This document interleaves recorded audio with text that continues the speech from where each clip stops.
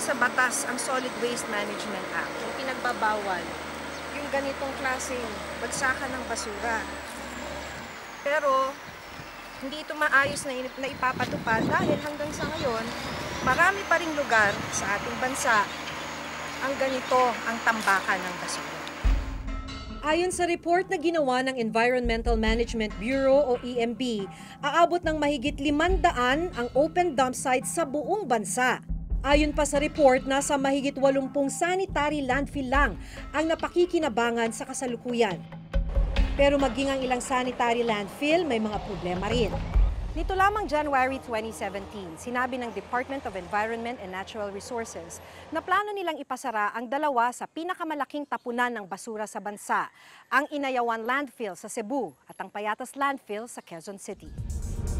Taong 2015 nang huli naming mapuntahan ang Payatas Landfill. Pero gaya ng landfill sa Iligan City, ang sinundan naming dump truck na ito, halo-halo na ang lamang basura. Hanggang sa makarating sa Payatas Landfill, walang segregation na naganap. Kaya mistulang isang malaking open dump site ang Payatas. Ikalawa pa lamang ang Quezon City sa pinakamaraming basura na naproproduce sa buong Metro Manila kada araw. Ang problema, dahil sa lumalawak na espasyo para sa basura sa Payatas, naapektuhan na raw ang mga residente ng Barangay Payatas kung saan nakatayo ang tapunan ng basura. Ang kwento ng mga residente dito, yung bundok ng basura na yan, dati, puro kabahayan. So sa estimate nila, nasa isang libo na or mahigit sa isang libong pamilya na yung napaalis para lamang dito sa tambakan ng basura ito. Ayon sa DENR, nakababahala raw ang katas ng basura mula sa Payatas dump site na dumidiretso sa ilang yamang tubig. Actually, we really do not know the reason, but there were allegations that it may be contaminating the La Mesa watershed. But uh, based on a study also conducted, the wastewater or the leachate flowing from the dam is not really going to the La Mesa Dam because the elevation of the La Mesa Dam is higher than the landfill. So maybe that's one of the reasons why they would want uh, the Payatas landfill to be closed. The position really of the city is we are closing Payatas soon as soon as we have already completed the closure plan that we have submitted. And besides, it is really due for closure already in the next two or three years. Marami talagang ano dito. Unang-una yung mga iba, lalo pa kung maggagawa pa ng di maganda. Kasi ito lang naman ang alam nilang trabaho. Tapos tatanggalin pa. Kung tatanggalin, dapat may alternatibong ano, ah, pagkakakitaan. Hindi nalalayo ang itsura ng Inayawan Landfill sa Cebu sa Payatas Dump Site. Halo-halo na ang basura sa Inayawan.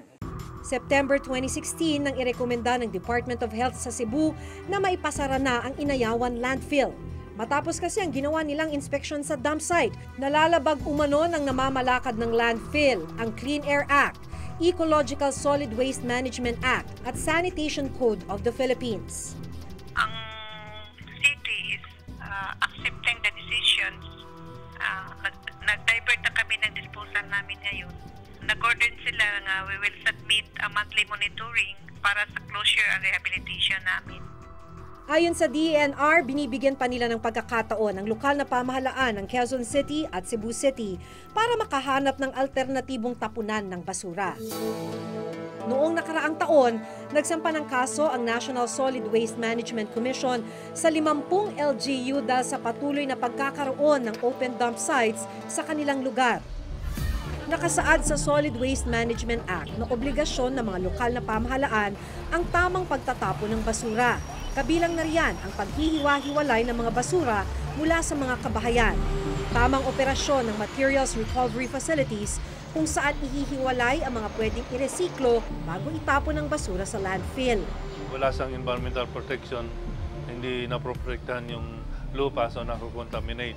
Yung iba tabing ilog, daluyan ng ah, tubig. So malaking pinsala yon sa environment. So since ah, very specific yung RA 9003, yun yung ah, main ah, main reason why we filed those cases. Ayon sa Eco Waste Coalition, mahigpit na implementasyon ng Republic Act 9003 ang solusyon sa lumalaking problema sa basura. Sa taong 2020, aabot na ng mahigit 16 na milyong tonelada ang basura ng Pilipinas kada taon ayon sa National Solid Waste Management Report. Ang nakababahala, nasa 27% lang ng mga lokal na pamahalaan ang sumusunod sa Solid Waste Management Act. Yun yung laging problema ng local government units. Kung ilalabas na halo-halo, ibig sabihin, lahat ng 40,000 tons per day, lumalabas yun, hahakutin, malaking pera ang naubos ng gobyerno doon. Samantalang may pagkakataon ng bawat mamamayan na huwag nang ilabas yung kalahati nun. At least yung kalahati nun ay dadalhin sa recycling facility or sa composting. So malaking bagay yon kung ah, kalahati ng 40,000, that's 20,000 tons. If you can convert that into organic fertilizer, marami pang matutulungan na agricultural land. Yung 40,000 tons, kung itatapon mo lahat yun, yung area requirement niya ay parang isang kasing laki ng tatayuan ng isang mall. So, ganun ka, kadami.